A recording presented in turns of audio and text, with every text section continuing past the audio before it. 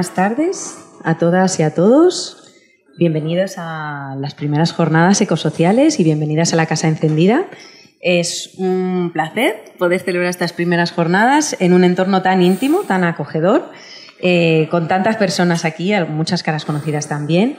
Y creo que es un momento eh, muy interesante en el que se ha podido juntar en estos tres días unas perspectivas multidisciplinares increíbles eh, para poder empezar a, reflexionar y pensar en esta vida que queremos tener en conjunto, solidaria, sostenible. Y vamos a estar hablando con expertos y expertas desde la antropología, la geología, la meteorología, pero también desde la política y el activismo. Entonces, bueno, no sé cuántas personas podrán atender los tres días, pero eh, vamos a tener las sesiones grabadas, las podréis ver luego en YouTube. Y, bueno, la colaboración con Fujim Ecosocial viene ya desde hace muchísimo tiempo, pero sí os quería comentar eh, una de las últimas que tenemos ahora mismo en marcha, que es el ciclo sobre pensamientos, debate sobre pensamiento inclusivo, que son unas sesiones muy, muy interesantes que podéis también ver en YouTube, que creo que también nos ayudarán cuando se acaben estas jornadas, puesto que ya irás tú adelantando la información de que serán bianuales, pero bueno, si queréis seguir debatiendo eh, conjuntamente sobre estos temas, hemos hablado sobre calidad de vida, extractivismo, eh, insostenibilidad. Las podéis ver eh, en YouTube, como digo, y bueno, simplemente daros la bienvenida, agradeceros siempre estar con nosotras. Muchas gracias. Y, os doy pie porque tenéis unas jornadas muy intensas, entonces yo no quiero robaros más tiempo. Pues nada, muchas gracias, Elisa. Es un placer, como siempre, que la Casa Encendida nos acoja en su casa y lo que os voy a introducir muy brevemente es un poco el por qué hacemos estas cosas. El título yo creo que ya es eh, bueno, una ilustración clara de lo que pretendemos. ¿no? Preguntarnos qué significa eso de la calidad de vida en el contexto en el que nos está tocando vivir, ¿no? el de una crisis ecosocial con bastantes aristas y algunas muy preocupantes. Eh, lo que es este tema, desde la Fundación lo estamos trabajando de múltiples maneras. Una de las últimas tiene que ver con el primer informe ecosocial sobre la calidad de vida en España que acabamos de sacar, que está disponible en nuestra página web y lo podéis consultar y descargar libremente, y que habrá ejemplares impresos afuera por si alguna persona está interesada en conocer cuáles han sido los resultados. Pero básicamente lo que hemos ido analizando ahí eh, va a ser el punto de partida de la reflexión que vamos a plantear hoy. Lo que ahí hemos analizado es que el modo de vida en la sociedad española, pues aparte de comprometer en buena medida las bases sociales y psicológicas sobre las que descansa, tiene unos resultados algo preocupantes en relación con cosas que convendríamos todos en considerar que son fundamentales para que la gente se sienta bien y pueda sentir que su vida tiene sentido y merece la pena ser vivida. Porque cuando observamos que hay experiencias y vivencias asociadas a un cansancio eh, o a un malestar crónico, hay situaciones de soledad y de exclusión social o aislamiento preocupante y es unido a dinámicas de desigualdad, pobreza, precarización, etcétera, y unas tasas que se nos disparan también en relación con salud física y mental, etcétera. Bueno, pues es que hay algo que está fallando en algo que indudablemente parece tener un éxito eh, incontestable en términos de opulencia material, pero que al final parece que no se sabe manejar bien en términos de calidad de vida. ¿no? Y esa es la reflexión eh, que queremos plantear con nuestros invitados e invitadas y que a lo largo de las tres sesiones, la de hoy, mañana y pasado, pues iremos desgranando desde lo que es la reflexión más filosófica y sociológica sobre el marco en el que podamos interpretar el modo en el que vivimos, hasta la identificación de todas esas dimensiones que son cruciales para poder buen vivir y, buen convivir y todas esas otras amenazas que vemos que se nos están cirniendo y se están activando en nuestra contra. Hasta terminar el jueves pues con una reflexión que estará centrada fundamentalmente en la búsqueda de las alternativas y qué primeros pasos podemos empezar a dar para encaminarnos hacia un modo de vida más justo y sostenible. Muchas gracias de verdad a, vosotros porque nos tratáis eh, muy bien y esto es eh, un, un escenario que nos hace sentir también en familia, ¿no? muy manejable, y sobre todo a los que habéis venido, ¿no? a las personas que os habéis acercado, eh, que estáis aquí con nosotros, también a aquellas personas que no han podido eh, asistir y con las que nos comprometemos a ofrecerles esos vídeos para que puedan en su momento, en su momento disfrutar todo lo que vaya a ocurrir en estos tres, tres primeros días de jornadas. Muchas gracias. Pues empezamos. Yo te dejo aquí. Venga, Elisa, gracias. Eh, la primera pregunta, y es una pregunta abierta a la reflexión de dos personas que os voy a presentar a continuación y que creo que nos pueden dar claves para pensar sobre algo que eh, desgraciadamente está demasiado ausente en la conversación y en los debates públicos. Eh, las dos personas que nos acompañan se mueven en dos ámbitos eh, que son disciplinas complementarias pero diferenciadas a la hora de abordar la misma cuestión. Y ahí tal vez un poco la riqueza. Carmen es filósofa, doctora en filosofía, es profesora en la Universidad Autónoma de Madrid en, esas cuestiones. El tema no le es en absoluto ajeno porque prácticamente ha venido siempre trabajando, toda su reflexión ha ido girando sobre qué es esto de la vida buena, sobre las necesidades, sobre también la necesidad de las transiciones a partir de la situación de crisis múltiples que estamos viviendo. Y eh, Luis Enrique, sin embargo, es sociólogo, ¿eh? es doctor en economía, podríamos empezar a decir que, que es antes que catedrático de Sociología de la Universidad también Autónoma de Madrid, eh, su formación eh, originaria es de economista. Por lo tanto, una persona que se mueve en el ámbito de las ciencias sociales, en el ámbito de la socioeconomía, siempre desde una perspectiva crítica y cuyo trabajo también ha girado de forma clara sobre la reflexión sobre el trabajo, la ciudadanía laboral, el consumo. Son realidades que están vinculadas. No se puede entender una cosa sin, sin la evolución y el desarrollo de lo otro. Y eh, también ha eh, reflexionado con profundidad sobre estas cuestiones. La pregunta que os eh, planteo de entrada y de partida es, vamos a intentar caracterizar, más allá de las opiniones y de lo que pudieran ser eh, las cuestiones, elementos más o menos objetivos sobre los que podríamos estar más o menos todas las personas de acuerdo y que creáis que pueden definir algo que contribuya a una vida digna de ser vivida. Eso sería un poco eh, lo que os pediría, que deis algunas pinceladas sobre qué aspectos, dimensiones o procesos o lo que consideréis oportuno eh, permitiría perfilar una vida buena. Casi nada. Para empezar, sí, me animo. Bueno, muchas gracias por la invitación, gracias también a los y las asistentes.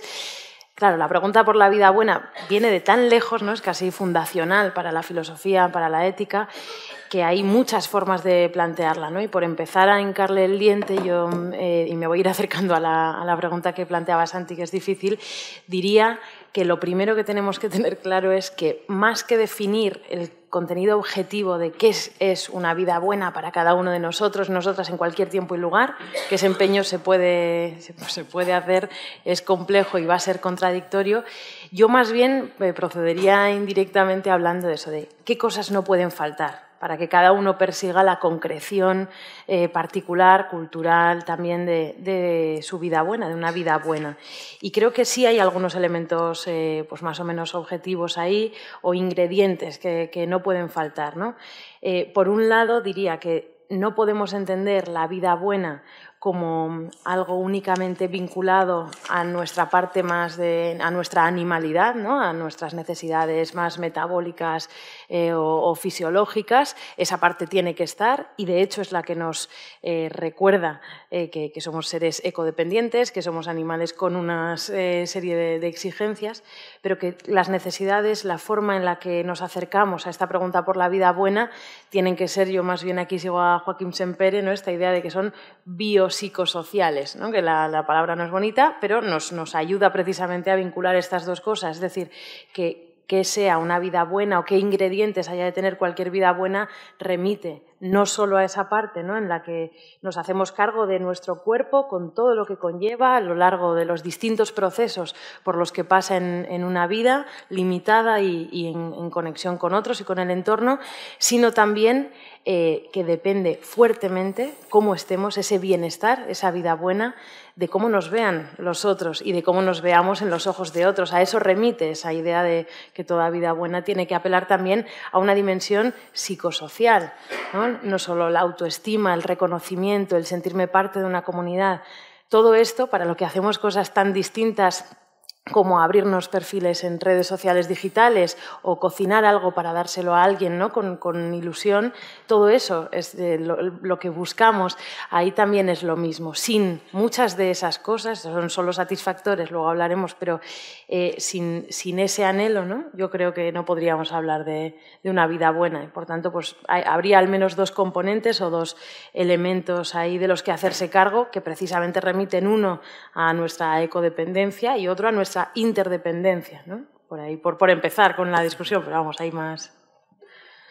Bueno, yo, mm, además de agradecer y encontrar a tantas amigas y amigos y el espacio que también hmm. me resulta familiar, y darle agradecer muchísimo el encuentro, la invitación y, y nada, que lo de salir de la monotonía docente de nuestra universidad, que se las trae y tal, pues realmente es, un, es una ventaja. ¿no?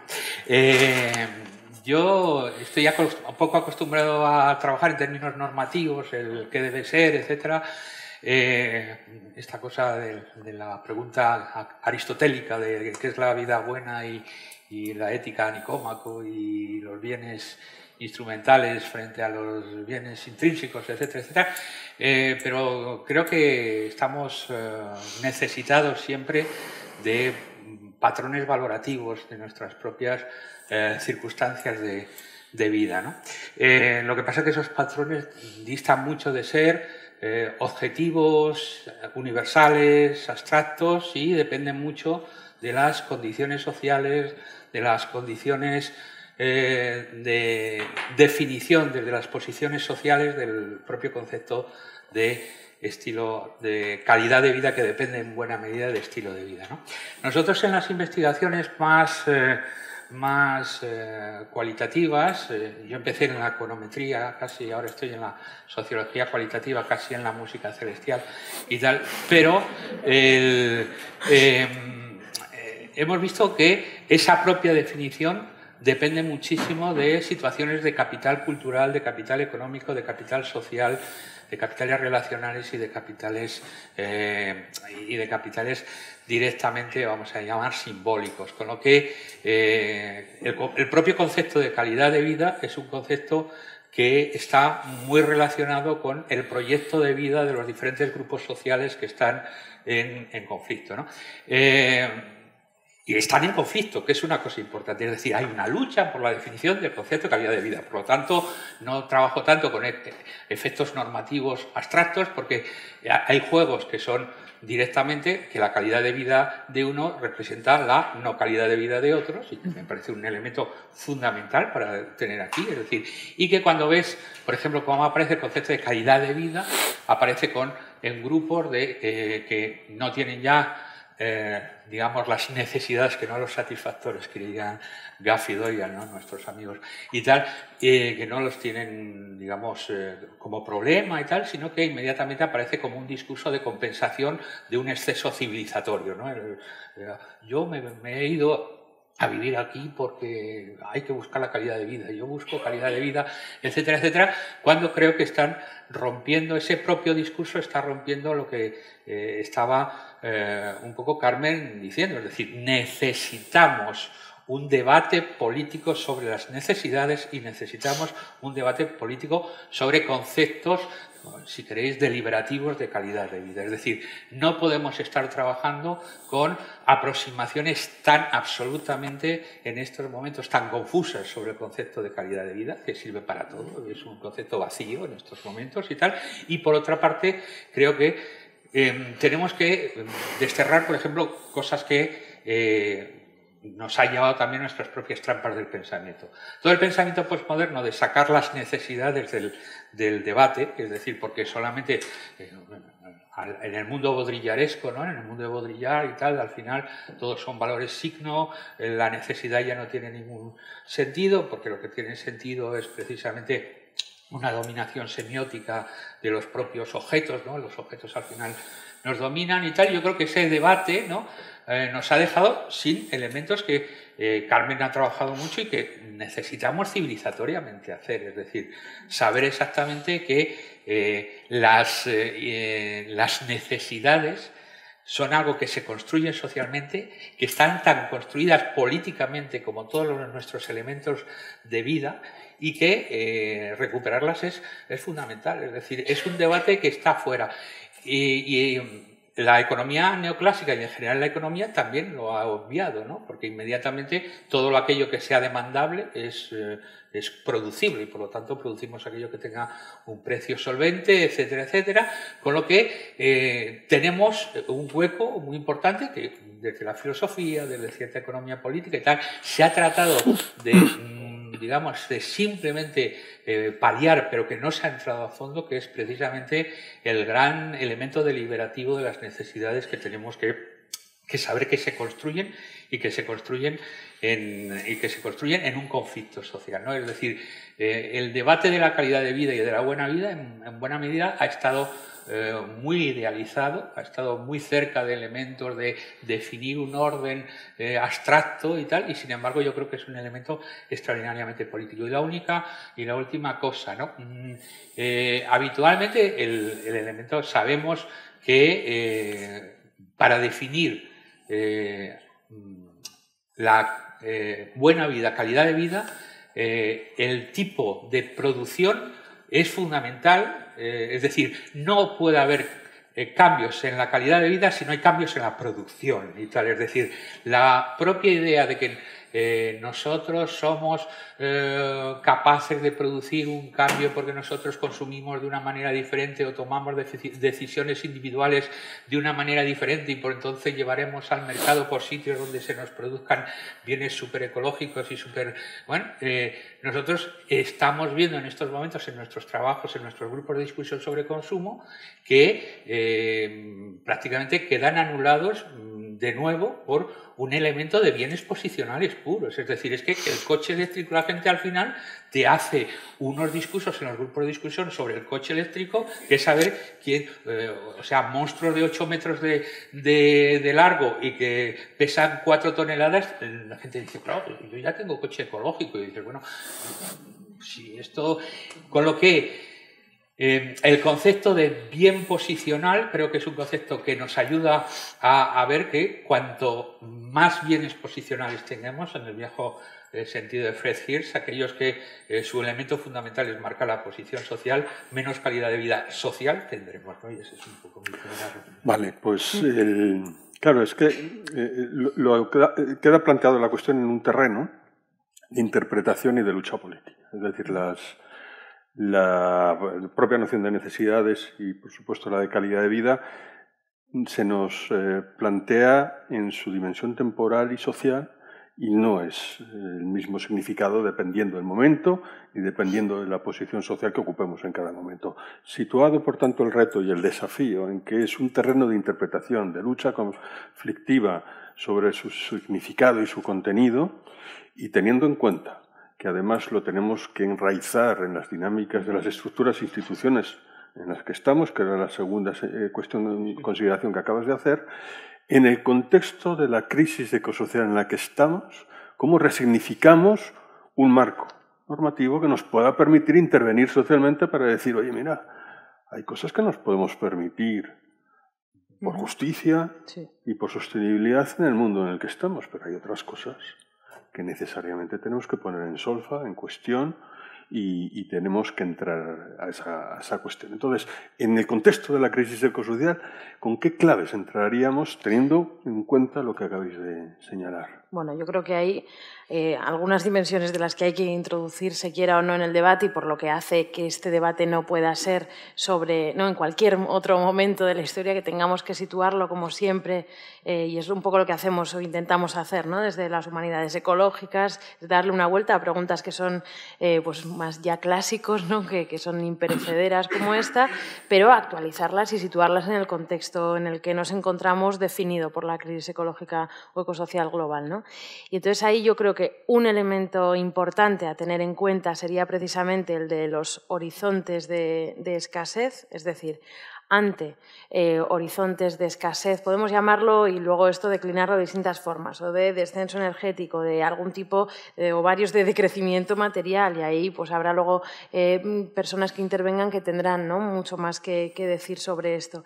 Pero si lo que sabemos es que no podemos aspirar a un mundo de una superabundancia material como hemos estado acostumbradas las últimas generaciones en una parte minúscula del planeta y a costa del resto, pero bueno, como es aquí, pues estamos acostumbrados, acostumbradas a, ciertos estándares, que incluso, por si vamos introduciendo algunos elementos, consideramos o nuestras sociedades consideran como derechos, que también en algún sentido, eso cambia mucho las perspectivas de que consideremos que sea una vida buena o cómo vamos dándole una vuelta a qué eh, vida buena y qué calidad de vida, que no las trataría como, como sinónimas, pero eh, se entiende por dónde, por dónde íbamos, eh, es posible ante estos horizontes de descenso energético o de reducción de, los materiales disponibles. ¿no? Entonces, ahí eso opera un primer cambio y es que la calidad de vida, por ejemplo, pues tiene que, tenemos que ir asociándola cada vez menos a una cantidad ¿no? De uso de recursos y energía, por ejemplo. Pues eso, comunicar eso socialmente y transitar hacia sociedades en las que sea posible mantener una buena calidad de vida o hacer que vidas que merezcan la pena ser vividas sean posibles, reduciendo o dependiendo cada vez o menos de lo que hacemos ahora ¿no? de, energía y materiales, por ejemplo, ese es un elemento que habría que introducir. Pero hay otro que me interesa también y que creo que permite conectar Mm, de una forma muy, muy orgánica esta, mm, esta cuestión y este debate con otros que también nos preocupan o deberían socialmente, como el de la xenofobia, por ejemplo, em, que es el de la irrelevancia, en filosofía, en ética lo decimos así, ¿no? es el de la irrelevancia moral del espacio y el tiempo. Es decir, que si nos tomamos en serio, a ver si somos capaces de tomarnos en serio y que eso cristalice de alguna forma en nuestras instituciones también, que da igual que un ser humano nazca dentro de 200 años o que lo haya hecho en Somalia, que el hecho de ser seres humanos ya vivan en, países a los que tenemos menos en cuenta, salvo como eh, pues aquellos que, de los que eh, traemos todas aquellas cosas que necesitamos para nuestras vidas cómodas y o que lo hagan dentro de mucho tiempo, no, no aminora eh, su dignidad y por tanto tenemos cierta responsabilidad para, con ellos, para quienes ya están aquí en otros lugares, espacio y quienes eh, nazcan más adelante ¿no? en el tiempo. Y si eso es, por no hablar, ¿no? alguien abriría la puerta a uno de mis estudiantes desde el animalismo y diría, bueno, qué discurso antropocéntrico. Bien, por supuesto, esto solo reduciéndonos al ámbito de los seres humanos, eh, que, es de quienes hablamos en términos de vida buena. ¿no? Hay quienes, como sabéis, consideran que los, el resto de animales también pueden tener vidas, por supuesto, mejores o peores. ¿no? Entonces, solo teniendo en cuenta los seres humanos, habría que abrir esa brecha, yo creo, eh, de justicia, como antes se decía, que es justicia social hacia los que ya están aquí, justicia intergeneracional hacia los que vendrán después, ¿no? y que van, sin duda, a, sufrir eh, las consecuencias de que habitemos el planeta como si fuéramos la última generación ¿no? que va a estar sobre, sobre ella. Entonces, ahí yo creo que en cualquier discusión sobre vida buena, calidad de vida, tenemos que ir integrando estos dos eh, debates. ¿no? Para mí, ese este de la irrelevancia moral del espacio y el tiempo, y el primero que os decía que tiene más que ver con,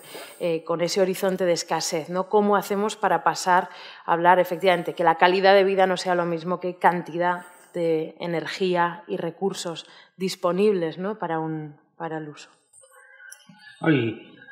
además, eh, como muy bien dice Carmen, es que están interrelacionados los aspectos de una manera que son prácticamente indisolubles. Quiero decir, mm, es imposible tener más justicia eh, ecológica si no empiezas también por tener mayor justicia distributiva. Es decir, los trabajos típicos de, Piketty, ¿no? Es decir, ¿quién, ¿quién se lleva la mayor parte de la riqueza y tal? Pues el, el 10% de la población norteamericana se lleva casi el 70% de la renta, pero es que también son los que contaminan muchísimo más y son los que inmediatamente consumen muchísimo más. Es decir, que eh, ese, ese elemento, el, el elemento ecosocial en estos momentos es un elemento que no puede separarse de lo social por definición. Es decir, y, y, separarlo como si fueran elementos, yo creo que viene de eh, la pérdida de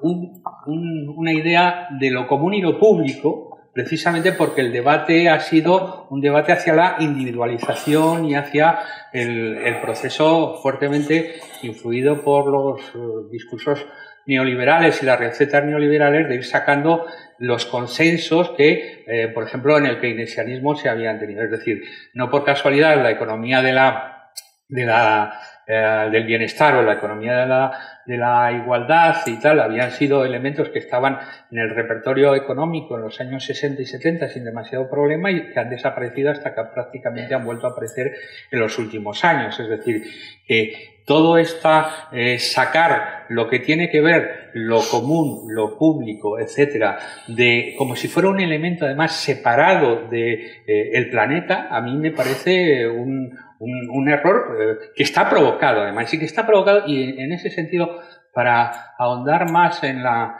en el diagnóstico de, Carmen, yo creo que, eh, porque también es un, es un proceso que está bloqueado discursivamente, es decir, que nunca habíamos tenido tal agresividad eh, en todos los tipos de discursos sobre elementos de cambio social, como puede, puede, ser, por ejemplo, todo el, toda la, la idea de el, insulto hacia, hacia las eh, posiciones ecologistas, el insulto, es decir, el debate se ha cargado de una manera que parece que, eh, no solo con el tema de las guerras culturales, que parece que eh, hay una irracionalidad básica, ha, ha sido convertir en irracional lo que realmente era la situación racional de, eh, que habíamos construido sobre la idea de externalidades, bienes públicos, etcétera, que era, al, fin y al cabo, un consenso keynesiano. ¿no? Ese consenso, cuando se rompe, eh, aparecen inmediatamente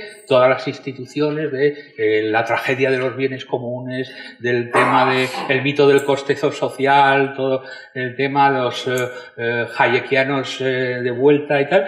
Y eso yo creo que representa que eh, lo que necesitamos es volver a reconstruir también un pensamiento económico que está relacionado con los elementos sociales y los elementos ecológicos, que en estos momentos separarlos es uno de los errores fundamentales. Y, y con esto acabo mi intervención. Y, por ejemplo, me parece que ciertos consensos, por ejemplo, socialdemócratas, etcétera, o se adecúan eh, ecológicamente o la propia socialdemocracia acabará, eh, acabará muriendo. Quiero decir, eh, tú no puedes estar hablando constantemente de sostenibilidad y midiendo tu crecimiento con el PIB convencional. Tú no puedes decir que tu gobierno tiene éxito o que tus instituciones tienen éxito porque crecen por el viejo sistema de que crecer es, redistribuir o crear empleo, cuando ni creces ni redistribuyes nada, ni creas empleo, y encima lo que haces es que alimentas a las grandes, digamos, posiciones económicas del sistema. Entonces, yo creo que esa, esa idea de romper el consenso del crecimiento por una vía que no solamente es un debate teórico, sino que es un debate de nuestras propias instituciones, es decir, eh, mediciones diferentes. Eh, tenemos miles de maneras de ver cuáles son índices de desarrollo humano, procesos, la paradoja de Esterlin, eh, montones de gente. Sabemos que en estos momentos la buena vida o la, o, la, calidad de vida, por utilizar con todos los matices el tema, no depende apenas del crecimiento de bienes privados, sino que viene de las dotaciones de infraestructuras públicas. Y eso es una cosa que lo podemos ver por todos los, por todos los Si tú sigues eh, midiendo el, el, tu éxito económico como eh, político, como si fuera un, decir que has crecido un 1,5, un 1,7 y que además de ahí va a haber un, un desarrollo, eh, un desarrollo, digamos, de empleo, etcétera, a mí me parece que estamos eh, metidos en un discurso absolutamente paralizante. Es una especie de, de doble vínculo, ¿no? Es una situación que se, que se nota mucho en los grupos de discusión, ¿no? Se nota mucho el doble vínculo este de Bateson es aquel que te dicen em, eso, ¿no? Está bien, pero debería ser mejor. Em, eh, pues eh, propietarios muy pobres, es un eso, eh, eh bueno, eso es un doble vínculo, o es crecimiento o esto es sostenible y tal. Todas estas situaciones de contradicción yo creo que paralizan políticamente la situación, que es lo que estamos viendo, una parálisis política, pero no una parálisis política producto de que no tengamos pensamiento, sino una parálisis política de que hay una eh, fuerte eh, guerra de posiciones ideológicas en estos momentos y que hegemónicamente realmente eh, esas posiciones de tipo eh, muy, muy regresivo en estos momentos tienen una capacidad de movilización de recursos impresionante, ¿no? Seguramente es, su, es, su, es, su, posibilidad, ¿no? Es anular nuestro discurso a base de su discurso.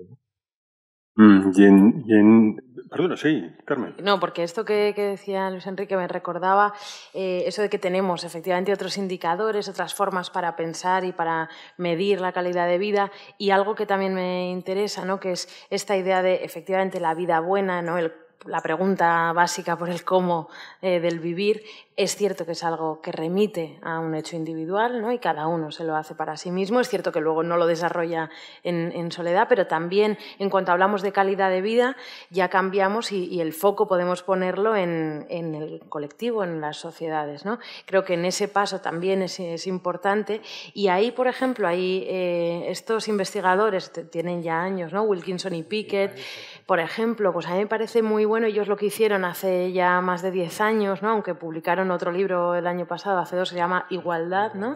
pero el libro que publicaron originalmente es, ellos lo que hacían desde el ámbito de la salud pública, porque son epidemiólogos, era precisamente... Eh, analizar eh, cómo la desigualdad existente dentro de cada país, eh, dentro de la OCDE creo que eran, pero bueno, dentro de cada país, eh, generaba a mayor desigualdad, a mayor brecha entre los ciudadanos de ese país a nivel salarial, generaba una serie, iba acompañado del aumento de hasta 16 problemas sociosanitarios, de esos con los que todos estaríamos de acuerdo en que nuestra sociedad, nuestra calidad de vida como ciudadanos de una sociedad, eh, aumentaría si esos problemas se redujesen. Iban desde embarazos en la adolescencia hasta abandono eh, escolar, hasta obesidad y otros tipos ¿no? de enfermedades, eh, ansiedad, depresión, eh, población encarcelada.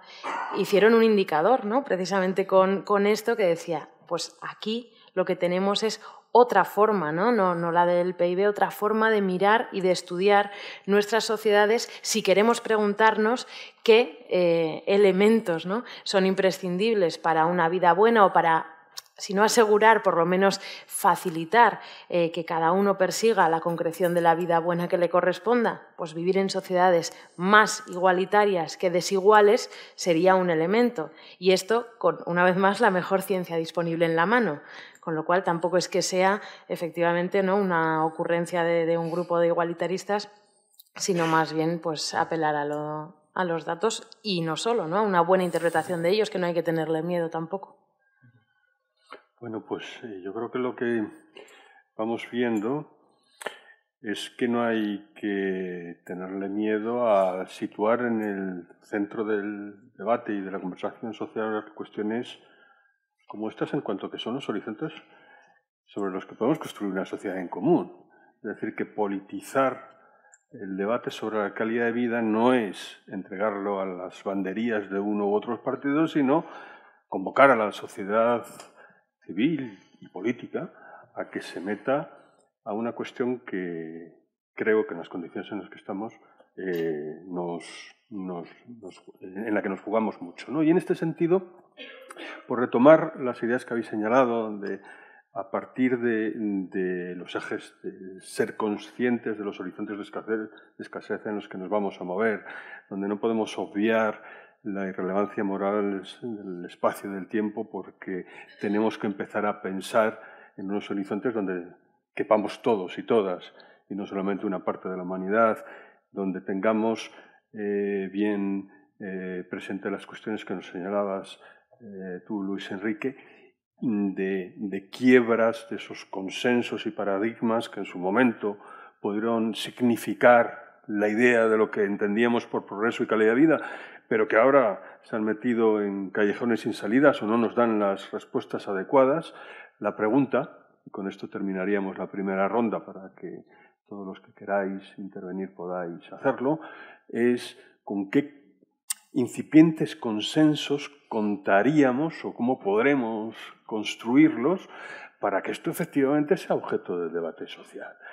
Eh, se habla de los ODS, se habla de eh, otros, eh, digamos, eh, propuestas, por ejemplo, la propia Declaración de los Universal de los Derechos Humanos, podríamos decir, es un agarradero, ¿no?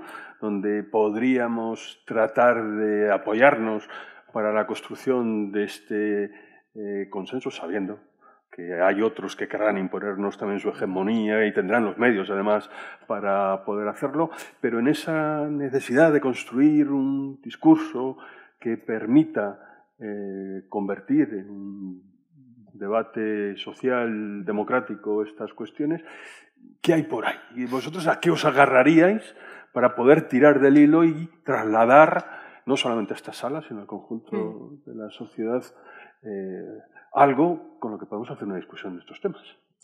Yo creo que ahí, vamos, empiezo, sí, prefiero. Eh, un, un, elemento que a mí al menos me sirve y de eso voy, voy tirando también ¿no? en las clases. Hay algunos estudiantes por aquí que ya me, lo han oído, pero de verdad es que me parece que es muy, muy útil, muy usual. Se lo debemos a esta economista eh, británica, Kate Raworth. Yo creo que hay eh, en el esquema de la rosquilla de Raworth, con el que estaréis eh, más que familiarizados, pero por si acaso, es, nos permite incorporar de un vistazo un techo ambiental, es decir, marcado por los nueve límites planetarios que, han desarrollado y siguen profundizando en ellos, ¿no? Rockstrom y, otros ahí en el Instituto, del Centro de Resiliencia de Estocolmo, es decir, nueve límites biofísicos eh, que, conocemos, que sabemos cuáles son eh, los problemas ¿no? que puede generar continuar traspasándolos, pero luego ella habla, y a mí esa concreción no la suya necesariamente, pero algo parecido, el límite inferior de la rosquilla, interior de la rosquilla, eh, son las necesidades básicas, aquello sin lo cual los seres humanos experimentamos un daño, aquellos elementos sin los cuales no podemos perseguir la noción de vida buena que cada uno tenga. Y mm, ella habla de elementos para la subsistencia humana. Yo prefiero hablar del enfoque de las capacidades, más, clásico, me encuentro más cómoda eh, ahí. Otros hablan del enfoque de las eh, capacidades o de bienes básicos o de derechos humanos. En el fondo, si lo estudiamos, y, yo al menos ahí, lo, el poco que pude acercarme, me llevé una grata sorpresa cuando vamos a la concreción de qué están hablando, ¿no? ¿Cuáles son esos elementos indispensables para la vida buena? Las capacidades de Nussbaum y los bienes básicos, las necesidades, se parecen mucho. Es decir, quienes han estudiado en distintos lugares eh, momentos y con distintas perspectivas y bagajes teóricos, desde los más de, un corte cristiano, como pueden ser algunos Skidelsky, hasta, hasta los que vienen de enfoques ¿no? del marxismo y la teoría de las necesidades, las propuestas concretas se parecen o encajan muy, muy bien. Y eso tiene que darnos alguna pista. ¿no? Están apelando a algo compartido. Y yo os traía pues, brevemente ¿no? para que sepamos a dónde podemos agarrarnos, pues lo llamemos como lo llamemos, parece que responder, como ya están haciendo nuestras sociedades, o buscar soluciones eh, a cómo gestionamos la alimentación y el agua potable que vamos, a, que vamos a disponer, la salud y la seguridad física, el afecto y los cuidados es otro elemento que aparece de manera transversal en estas perspectivas, el reconocimiento, la libertad o autonomía, como queramos decirlo, la equidad, la participación, eh, las actividades autotélicas, ¿no? el, ocio, el juego, como queramos decirlo, también presente eh, por todas partes, el trabajo, entendido aquí pues no como un trabajo asalariado productivo, ¿no? que esa sería el satisfactor, la concreción, sino el trabajo como cualquier tipo de actividad que realizamos los humanos para hacer eh, posible la vida en comunidad, ¿no? para hacer posible la vida, tanto el trabajo reproductivo, remunerado, no remunerado, todo tipo de trabajo. Parece que necesitamos sentir que aportamos a nuestras sociedades. Esta es una de, las, de esas exigencias ¿no? para sentirnos también bien y, parte, de, parte de ellas. Yo diría que por ahí hay algunos de esos agarraderos, algunos espacios ¿no? que podrían generar consensos amplios y yo lo que diría también para, terminar, porque me parece que plantea ahí una cuestión pues, que no está en absoluto resuelta, es em, la de los satisfactores. Para mí este es el asunto político central, aunque lo llamemos de otra manera porque es pues, muy poco sexy el término. Pero em, la pregunta para mí no es tanto cuáles son aquellas cosas sin las cuales no podemos em, tener vidas buenas, porque creo que eso está afortunadamente bastante bien resuelto, lo llamemos como lo llamemos, distintos investigadores e investigadoras nos han dado muy buenas pistas por ahí. Para mí la pregunta política pero también teórica ya, eh, muy mezclado todo, sería cómo hacemos para que nuestras sociedades empleen o respondan a estas necesidades de una forma que sea sostenible e injusta. ¿Cómo cambiamos nuestros satisfactores profundamente insostenibles e injustos, o sea, que se apoyan sobre injusticia tanto social como intergeneracional, eh, para, para, hacerlos encajar ¿no? en, ese, en esos límites biofísicos del planeta? Esa, pero a esa sí que no puedo responder en absoluto, así que nada, paso la pelota. para ti. no, no, el nivel de, compromiso de la respuesta es solamente proporcional a, al nivel de, exigencia de la pregunta. yo diría, primero, eh, creo más en las razones prácticas y tal, en el propio sentido de en la sociología manejamos eh, el concepto de razones prácticas, en el sentido de, cómo, de cómo los propios grupos sociales eh, le, dan, le dan sentido a sus acciones y, sobreviven en sus interacciones. Y en ese sentido, las declaraciones institucionales yo creo que son parte de elementos que los grupos sociales pueden tomar como suyos, pero que, haya declaraciones institucionales no significa que sean eficaces en los grupos sociales. Y esto, pero, sin embargo, es una herramienta que pueden manejar en su propia en su propia movilización. Yo creo que el tema será el resultado de los movimientos y las movilizaciones sociales, el tema de los compromisos y el tema de las luchas. Eh, no hay, eh, no hay fórmula abstracta, eh, los próximos años van a ser terriblemente conflictivos, terriblemente conflictivos, eh, porque eh, estamos viendo, y aquí hay muchísima gente que, puede decirlo mejor que yo, que la situación ecosocial es una situación realmente lamentable, mm, eso sin llegar a ningún elemento de catastrofismo básico, pero sí que hay, está tocando el nervio de la propia de la propia eh, vamos a, llamar pues eh, supervivencia en, muchos en muchos campos ¿no? y ahí el, tema es eh, precisamente cómo haya grupos sociales que sea capaz de reconocerlo y cómo esos grupos sociales sean capaces de movilizarse y sean capaces de, de construir también espacios que tanto tanto mm, fuercen a las instituciones como eh, aprovechen los elementos institucionales para eh, autopoyéticamente también eh, removilizarse y generar también ellos mismos movimientos. En ese sentido, cualquier declaración de este tipo y tal me parece, me parece positiva, pero me parece que esto se hace suyo cuando se convierte en razones prácticas. Y las razones prácticas, lo sabemos por el, viejo Joan Martínez Arier, eh, no suelen ser razones abstractas de ecologismo, eh, vamos a llamar, de, de, salón, sino que suelen ser elementos que a la gente le atañen directamente en su eh, vida concreta, cotidiana y en su estilo de vida. Y que precisamente la contraofensiva ideológica de un nivel que yo, tengo 65 años, no había visto eh, en muchos años y tal como en estos momentos, ¿no? porque es un, es un nivel de una, de, un, de una fiereza, ¿no? y de una fiereza que los que estamos en la universidad, por ejemplo, eh, y que estamos en facultades como la mía, que yo desgraciadamente y tal, me gustaría estar eh, dando metafísica 3, pero doy eh, sociología, sociología del consumo y sociología de la empresa. Eh, los, los, próximos gestores de, de, la sociedad empresarial en estos momentos tienen una agresividad privatista fundamental, de, de tal manera que han naturalizado de una manera absoluta y tal la idea de lo que podríamos llamar los ejes de una economía basada en el beneficio privado, en la no redistribución, en la idea que el estado del bienestar es una antiguaya que eh, hay que eliminar porque los impuestos por definición eh, restan productividad.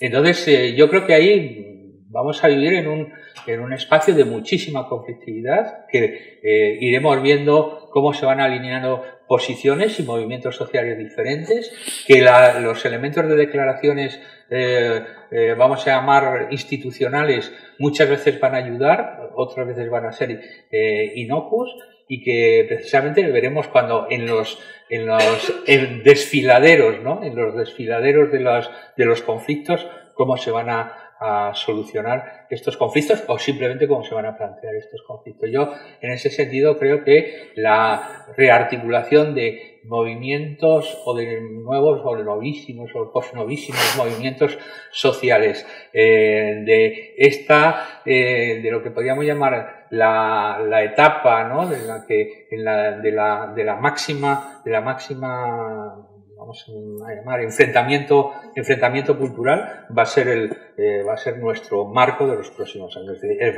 La guerra cultural está abierta, la, la fórmula es muy, muy, eh, en estos momentos, muy conflictiva y que veremos cómo se van a ir articulando. Sí, y justo en relación con eso, eh, ver también cuáles son las reacciones ante la movilización cuando se consigue. ¿no? Estamos también en un momento en el que queda eh, al descubierto las estrategias de criminalización de la protesta. Eh, tenemos a, compañeros y compañeras también de Rebelión Científica y de la propia ¿no? universidad, como, como el profesor eh, Jorge Richman, que están, ¿no? y otros 15, otros 14, a quien se les pide año y nueve meses de cárcel en, en este país.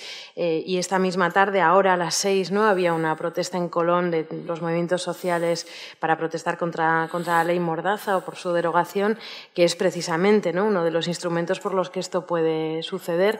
De manera que no solo es que vayamos, como yo también coincido ¿no? con, con Luis Enrique, a un periodo de más eh, conflictividad, sino que es muy fácil en esa sensación ¿no? de, eh, que dan el reparto ¿no? de las migajas de los enriquecidos, eh, también otros grupos a los que se va a señalar, por eso hablaba antes de la xenofobia, son procesos en los que ya estamos, con lo cual también emparenta con cuál va a ser la reacción de, de parte de nuestras sociedades si no somos capaces de que se entienda el marco general, que esto no es que sea una crisis eh, energética puntual por la guerra en tal sitio o que sea una crisis climática o que de repente haya un problema con el agua en dos zonas de este país. No, no, que esto forma parte de una imagen mucho más global, que es la crisis ecosocial global, en la que ya hay otros territorios que están sufriendo muchísimo más que aquí y eh, que aquí también efectivamente se notan ya las consecuencias y tenemos que ver cómo organizamos nuestras sociedades precisamente para buscar esa, posible ¿no? vida buena de un conjunto de, personas que no son las únicas que habitan el planeta, ¿no? o sea, por, ir vinculándolo. Y ahí pues estos elementos de protesta eh, yo creo que van a ser importantes y nos van a generar también pues bastantes quebraderos de cabeza y en la práctica sin duda. Bueno, pues eh, A ver, bienvenido sea el conflicto para romper los consensos que nos impiden eh, afrontar los retos que tenemos. Y en este sentido eh, ya dejamos eh, encaminado lo que va posiblemente ser el debate que vosotras y vosotros podáis plantear, cómo empezar una movilización que además sepa integrar desde la ruptura de todos los vínculos sociales que nos hacen a todos y a todas más vulnerables, con todos esos procesos de destrucción y deterioro ecológico que se avecinan y que en el plano de las amenazas o bien vinculados a eventos climáticos, contaminaciones de tierras, aguas y aire, etcétera, pues hará que la gente tengamos que, decir algo y, proceder a hacer algo. Bien, este es el, tema, en parte también de, de, la definición de lo que es una vida buena, ¿no? Será la que eh, estemos dispuestos a hacer valer con nuestra lucha y con nuestra práctica. Queda abierto, si os parece, un pequeño periodo bueno, de preguntas que vamos a organizar de la siguiente forma. Podéis hacer vuestros comentarios o formular alguna de las preguntas a nuestros invitados. Las agruparemos en tres intervenciones, de tal manera que si después de haber sido formuladas y de que vosotros consideréis oportuno queréis añadir algo, da tiempo a una segunda ronda o a una tercera pues estaremos así los próximos 20 minutos, 25 minutos, ¿vale? Antes de que hagamos un pequeño descanso para dar entrada a nuestros siguientes invitados. Entonces, quien quiera formular una pregunta, un comentario, pues adelante. Está ahí la compañera con el micrófono.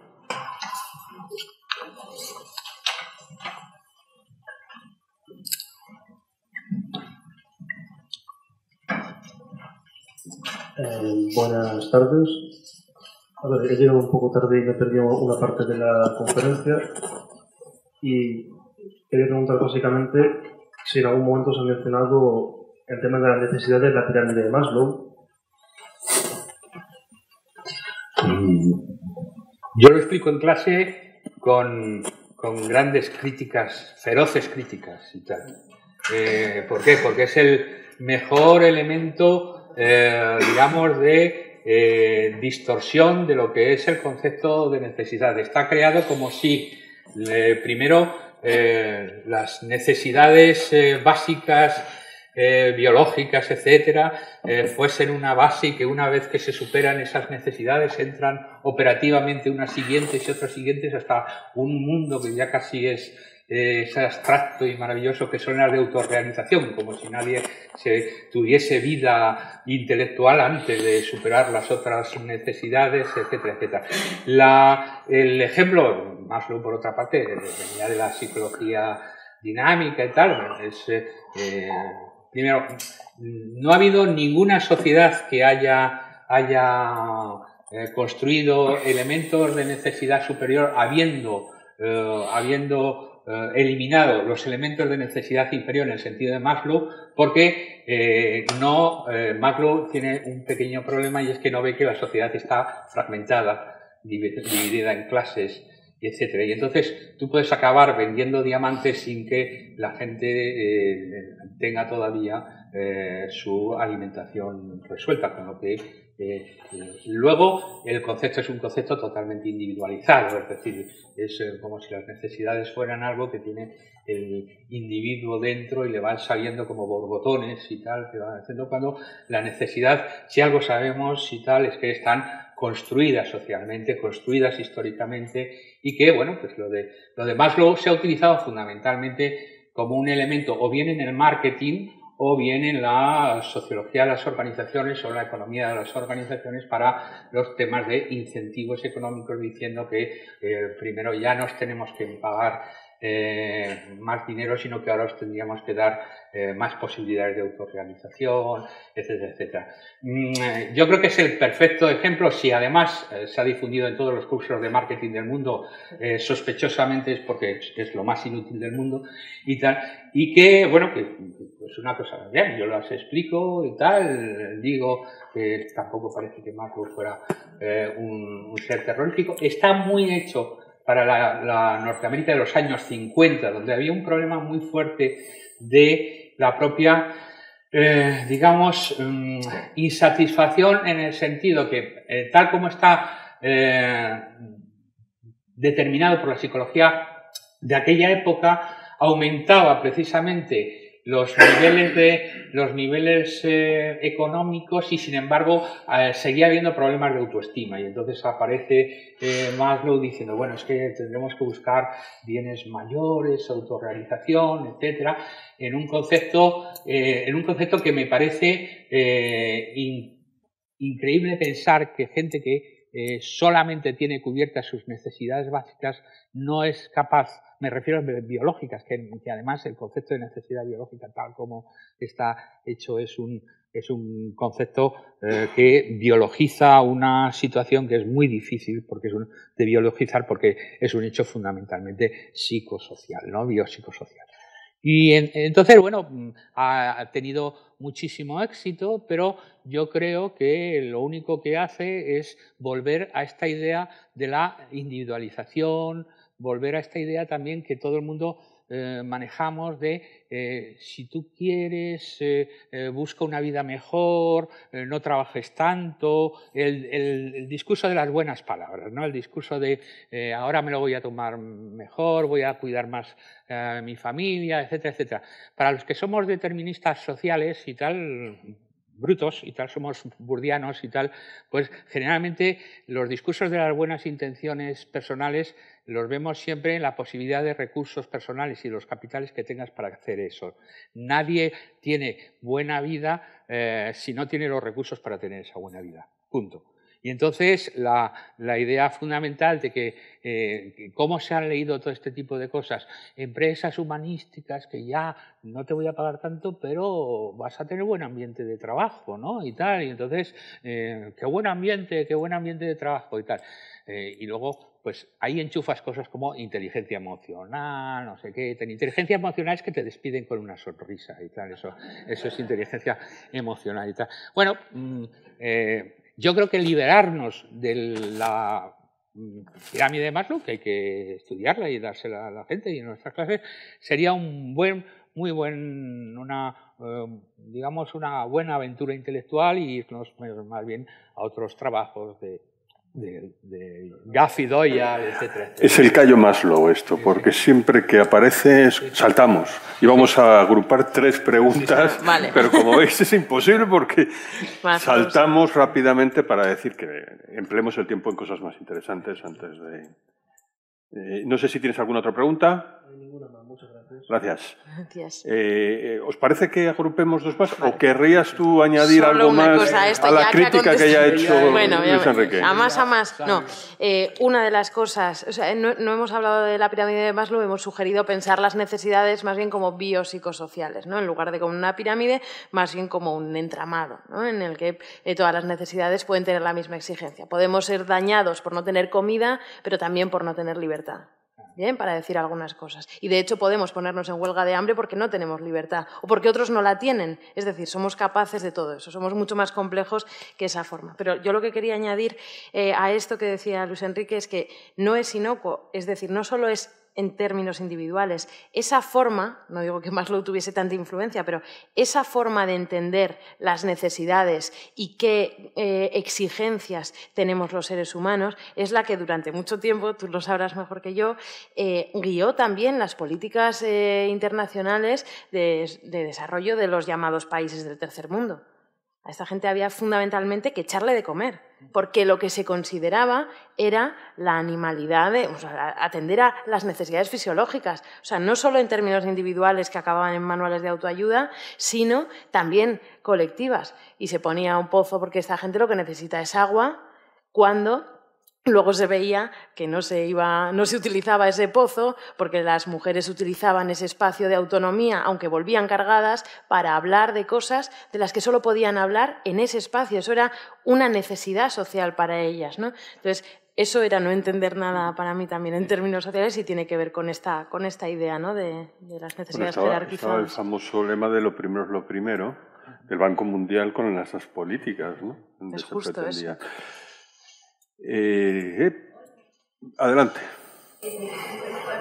acá estaba escuchando al doctor Olea y su lenguaje sobre los plásticos y su influencia en todo lo que es el tema de, del petróleo, eh, como ahora nos están vendiendo que es muy malo el coche eléctrico, el coche eh, combustible, nos están vendiendo el petróleo a muchísimo más precio en todos los, los insumos que nosotros estamos eh, en nuestra vida cotidiana utilizando.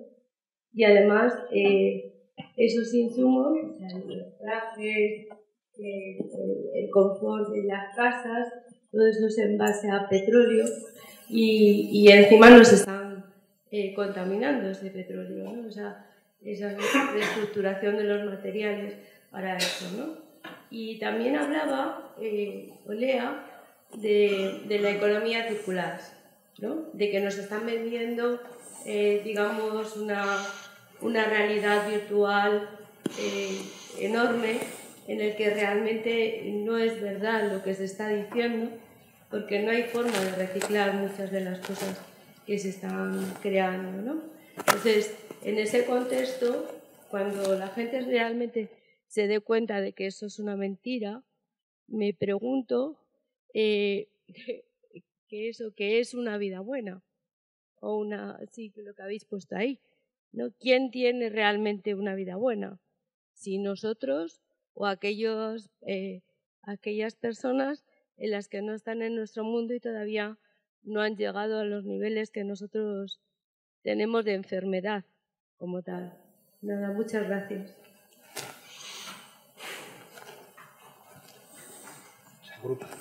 Sí, vamos a esperar. Hay otra pregunta por aquí.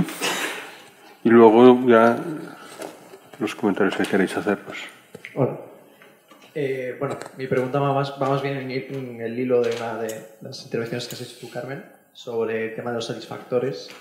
Y me quería comentar que parece un poco que vamos abocados a una situación en la que parece que no vamos a cambiar nuestros, nuestros hábitos, de, nuestras costumbres de consumo y que tampoco vamos a reconfigurar el eje individualismo-sociedad, el rol que tenemos como individuos y el rol que tiene la sociedad a nosotros como individuos, hasta que sea estrictamente necesario. ¿no? Y como que quería, me pregunto, siempre que pienso en estas cosas, me pregunto muchas veces que, qué herramientas tenemos para reconfigurar masivamente estos satisfactores que tenemos para poder tener una vida buena hasta que, o sea, antes de que sea estrictamente necesario, antes de que eh, la crisis ecosocial llega a un punto en el que tengamos que dejar de ser tan individualistas porque no tenemos, o sea, no podemos basarnos en nosotros mismos. Y sobre todo, y cuando, eh, que sí, bueno, es que es perfectamente posible que lleguemos a un escenario en el que podría, podemos llegar a un escenario político autoritario, ecológico, eh, con las injusticias que eso puede llevar. Entonces me pregunto, ¿cómo podemos evitar eso? Cómo podemos evitar una especie de, que no me gusta llamarlo así, dictadura ecológica. ¿Quieres coger otra o así contestamos? Yo creo que hay, hay para que... Hay suficiente, sí. Eh, bueno, en relación a, la primera cuestión, a mí lo, que me pilla más, más cerca, no directamente que lo haga yo, sino el, grupo de investigación, ¿no? que tenemos a una investigadora haciendo su tesis doctoral sobre esto, que tiene que ver con la ética eh, y con la eh, huella ecológica de la inteligencia artificial. Es decir, ya hay quienes están estudiando hoy eh, desde, desde la academia esos procesos, ¿no? De hasta qué punto ¿no? la huella ecológica y social, eh, es decir, qué procesos abre que también perjudican a personas, la digitalización en la que efectivamente estamos más que, más que lanzados. ¿no? Y, por ahí pues hay trabajos bien interesantes. Nosotras desde GECO, desde el Grupo de Investigación en Humanidades Ecológicas, pues estamos organizando un otoño sobre estas cuestiones ahí en, en el Círculo eh, de Bellas Artes, en este caso, en colaboración con la Autónoma, y vamos a seguir por ahí trabajando. Y en relación con, esta eh, última pregunta, ¿no? Eh, que empezaba en los satisfactores, pero que, tenía que ver con cuándo ¿no? algo es estrictamente necesario, pues, y creo que Luis Enrique está de acuerdo, cuando hagamos que, que así lo consideren nuestras sociedades. En términos objetivos, yo diría que ya lo es. O sea, yo diría que efectivamente es urgente eh, y debería ser materia de, trabajo inmediato en distintas, desde comisiones ministeriales hasta eh, también asambleas ciudadanas, que pensemos cómo darle una vuelta ¿no? a cada uno de esos eh, satisfactores para que sean sostenibles y justos. ¿Cuándo? Eh, va a ser eh, estrictamente necesario, cuando va a ser posible, cuando lo consigamos, en ese empuje eh, tienen que estar, yo diría, ¿no? pues las distintas patas, la comunidad científica académica, que para mí, pues, aparte que es mi trabajo, me parece que tiene que desempeñar una labor fundamental porque aporta buena parte del respaldo en, los datos sobre la situación que atravesamos, la sociedad civil organizada de muy distintas formas, no únicamente en las más, más clásicas, ahí podemos pensar en soluciones también imaginativas, y también la parte de la política que llamamos política institucional. es imprescindible forzar también a quienes eh, ocupan esos lugares para que no, no, se puedan quedar contentos con declaraciones de emergencia climática, como, como sucedió en su momento ¿no? en, en, el Congreso de los Diputados. Hay que ir avanzando y cuándo va a ser estrictamente necesario. Pues solo cuando lo forcemos lo, suficiente, diría yo, pero vamos, por, no extenderme. Yo, eh, sobre el tema de la economía circular, tengo poco que decir porque además aquí hay personas mucho más autorizadas que, yo. Me imagino, he oído mucho a, maestros y amigos como José Manuel Naredo, etcétera, etcétera. Eh, y bueno, primero, el, tema de la reciclabilidad de todo y de la eh, reutilización de es, es en sí mismo también es bastante utópico eh, y significa que eh, o hay una autocontención y tal que en, ese sentido que una especie de, economía permanentemente reciclable que sería casi que venciese la ley de la entropía pura y tal y prácticamente de momento eh, parece que la entropía nos come, ¿no? como, como el tiempo. ¿no? Pero vamos, que independientemente de esto. Pero sí que puedo aportar algunas cosas muy interesantes de lo que se decía. ¿no? Por ejemplo, eh, en los últimos... Mm, aquí hay gente que ha hecho todavía más grupos de discusión que yo, pero en los muchos grupos de discusión de consumo que hemos hecho en los últimos años, lo que hemos visto es que eh, todos los discursos eh, digamos, políticamente correctos de, la sostenibilidad, eh, etcétera, eh, son manejados con una especie de, mm, vamos a llamar, de, cinismo, mm, de cinismo casi amoral, ¿no? Mm, yo, yo compraré si, si es, si es sostenible, pero eh, si tiene buen precio, ¿no? Y tal, eh, pero entonces que me fabriquen sostenible, ¿no? La, la, idea es una especie de pasividad y tal que se construye sobre la idea de que yo no voy a romper eh, con ese consenso ideológico que, parece que se ha puesto así, pero desde luego siempre que no represente para mí ningún elemento de toma de eh, vamos a llamar, de toma de posición ciudadana. El tema es sencillamente un tema que podríamos llamar de eh, facilidad económica. Por lo tanto, si hay bombillas de, ecológicas, las compraré ecológicas siempre que el precio sea ecológico. Esto lo que quiere decir es que eh, prácticamente el, debate se ha construido sobre una, sobre una vamos a llamar, pues eh, absoluta deformación de todos los conceptos que se habían metido en el debate previamente. Es decir, que eh, lo que ves es que salvo grupos eh, muy activos, salvo grupos con mucha conciencia tal, las clases medias consumidoras eh, están metidas en una rueda de consumo absolutamente convencional, es decir, como en la época típicamente 60-70, pero con etiquetas que parecen ecológicas y que esto nos da como una cierta tranquilidad, no sé qué, pero que pasar de ahí, cuando se pasa de ahí, el problema empieza a ser eso, ¿no? La agresividad, ¿no? Eh, ¿Por qué tengo que pagar yo eh, por cosas que no sé qué? Porque lo digan unas tías que también son feministas, pero no sé qué. Bueno, ese tipo de discurso aparece constantemente en los grupos de discusión. Me gustaría que apareciese a Rachel Carson y a no sé qué, pero no aparecen en los grupos de discusión de clases medias consumidoras, es una, es un, lo que aparece es una especie de lavado de, cara eh, de los procesos, eh, digamos, de pura, de pura eh, mantener el modelo consumista, pero con etiquetas eh, digamos, humanizadas. ¿no? Y eso aparece constantemente. Otra cosa es que vayas buscando grupos movilizados, etc. Pero en los discursos, por ejemplo, hice un grupo hace menos de, dos meses que unos, unos jóvenes me decían, oh, pero no veníamos a hablar del consumo y tal, y claro, yo metí temas de eh, eh, que pensáis, tal, las restricciones, consumo, tal, un nuevo tipo de consumo, y decía, pero eso no es consumir, eso es un aburrimiento, ¿no? Consumir, bueno, consumir es, es eso, ponerte, tal, comprar lo que quieres, coches, bueno, eh, es que el modelo de educación de consumo todavía sigue siendo de los bienes privados privativos y tal que generan satisfacciones individuales y posicionales. ¿no? Y eso es un elemento muy, muy peligroso civilizatoriamente. Pensar que eh, tenemos recorrido más elementos que los que tenemos recorridos. Y tenemos un poco lo que se decía aquí. Y efectivamente los famosos temas de, del, del llámalo eh, ecofascismo, eh, ecoautoritarismo y tal, mm, eh, pues dependerá en muchos casos también precisamente cómo se resuelvan problemas de conflictos en ciertos momentos, en ciertas situaciones.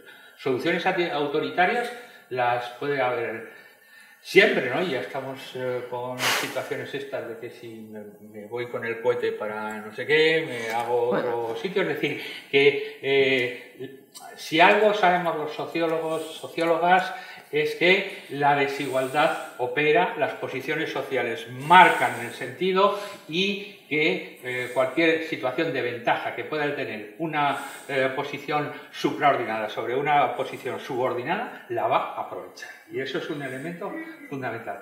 Y por eso también que mm, a mí en estos momentos me parece eh, extraordinariamente estéril separar las ideas de, por ejemplo, justicia social, igualdad, etcétera, con las ideas de eh, eh, medio ambiente, porque es que son lo mismo, en, ese sentido son lo mismo, es decir, no hay salvación ecológica posible si no hay una reforma social distributiva profunda, porque si no, ¿qué, vas a tener? Eh, ricos comprando coches super ecológicos y no no tiene ningún sentido. ¿no? Entonces, esa especie de reconciliación me parece fundamental, ¿eh? me parece eh, uno de los elementos más importantes en este momento. Incluso podríamos decir eh, que ya hay, ¿no? fruto de la combinación de esos procesos, ya hay hoy eh, por parte de la Unión Europea soluciones autoritarias en esa clave.